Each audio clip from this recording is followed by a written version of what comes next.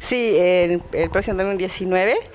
Es un proyecto muy lindo que nosotros empezamos con, con mi compañera Eli.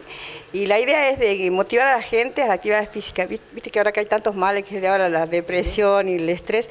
Y es bueno porque ese maratón, nuestro maratón aeróbica, lo que vamos a hacer es dar las clases de, aeróbica, de aerobox, de latino, de eh, aerocuarteto. Es, en, eso consiste el maratón, porque muchas veces me preguntan el maratón, y no, piensa que es que van a ir a trotar. No, el maratón porque van varias horas. Y bueno, vamos a hacer en el Centro Cultural Martín Miguel de Güemes, el domingo le esperamos a todas y va a ser un evento muy lindo y eso es lo que nosotros queremos. Bueno, esta va a ser sin, costo la entrada, las personas tienen que ir con toda la gana de querer eh, eh, hacer un poco una tarde de ejercicio.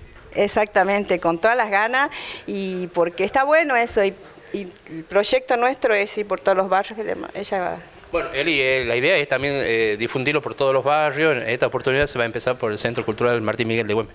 Claro, es como para incentivar, una forma de incentivar a la gente que hagan actividad física, porque a veces uno que se queda en la casa por vergüenza o algo. No, no, acá hay que venir todo y hacer gimnasia, nada más, lo único. Divertirse. Se, suele ver en algunas ciudades estos tipos de, actividades que se desarrollan, pero casi siempre son las mujeres, pero no tan solo está destinado a las mujeres, sino también al hombre. No, todo mixto. Pueden ir hombres, mujeres, no, no hay problema. Bueno, eh, la condición es, bueno, obviamente llevar ropa deportiva, quizá agua y bueno, eh, y con toda la gana de querer eh, pasarla bien y divertirse más que nada. Claro, ropa cómoda, deportiva, igual que las zapatillas y mucha agua, eso sí. ¿Ya tienen previsto cuál va a ser el otro barrio que van a estar visitando, en cada cuánto tiempo va a estar esta visita? Y eso tenemos que programar, por lo pronto lo tenemos acá en el ex matadero, el domingo 19, y después veremos cualquier cosa, te estaríamos avisando. Bueno, de ¿cuántas son las profesoras, las personas que van a estar editando estos cursos? Eh, eh, nosotros, eh, las dos nada más estamos, estamos trabajando en un pequeño salón que tenemos. Y es como decía, ¿no? Este, estos eventos se hacen en otras partes, porque ya donde yo vengo hacíamos siempre y entonces me quedo esas ganas de hacerlo sin fines de lucro, pero lo importante es eso, ¿ve? De incentivar a las personas la actividad física. Eso es lo más lindo que es amo hacer esto y lo mismo pienso que mi compañera. Y tenemos una propuesta para allá, para la zona también del Bordo, y bueno, entonces vamos a ver si, cómo, si concretamos eso.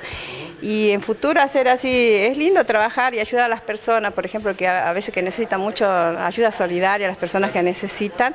Y ese es nuestro proyecto y nuestro objetivo para este año hacerlo. Bueno, algunos instructores, algunas profesoras que se quieran sumar para poder dictar, eh, digamos, estas clases, ¿lo pueden hacer?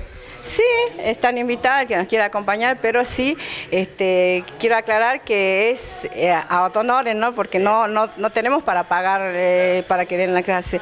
Y, pero por ahora empezamos nosotros, porque en realidad es lo que nosotros queremos, sin fin de lucro.